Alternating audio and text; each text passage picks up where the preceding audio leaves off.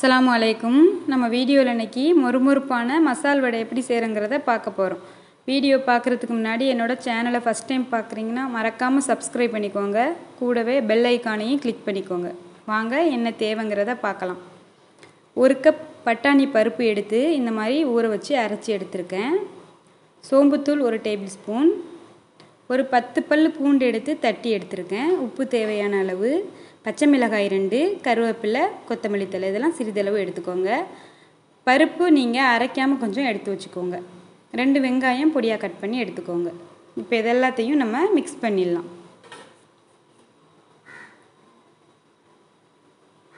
நீங்கள் கடலப்பருப்பில் செய்கிறத விட இந்த மாதிரி பட்டாணி பருப்புன்னு கேட்டு வாங்கி செஞ்சு பாருங்கள் ரொம்ப நல்லாயிருக்கும் மசால் வடை ரொம்ப டேஸ்ட்டாக இருக்கும்.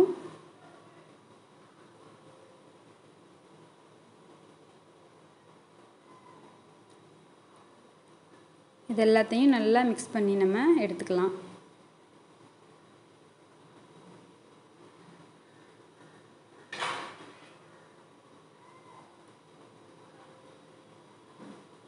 இந்த மாதிரி நல்லா மிக்ஸ் பண்ணியாச்சு.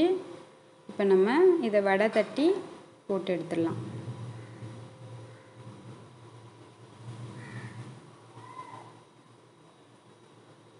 இது போல் நீங்கள் இந்த மாதிரி தட்டி எடுத்துக்கோங்க.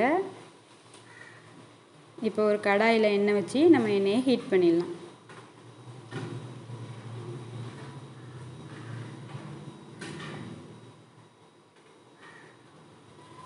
எண்ணெய் நல்லா ஹீட் ஆயிடுச்சு இப்போ நம்ம வடையை போட்டுடலாம்.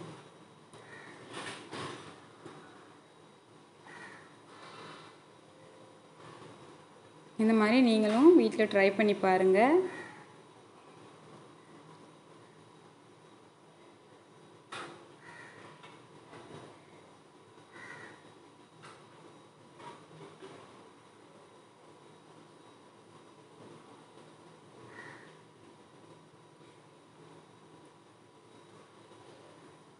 ரொம்ப சூப்பராக இருக்கும் வடை. நல்லா கலர் சேஞ்ச் ஆகிட்டு வருது.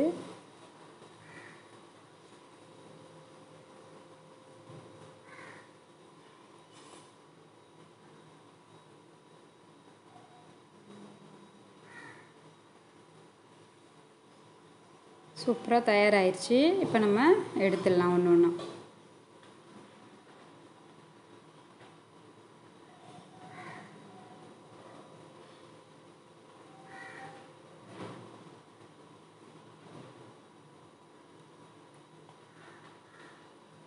இந்த மாதிரி கலரில் எடுத்திங்கன்னா தான் உங்களுக்கு நல்லா சூப்பராக இருக்கும்.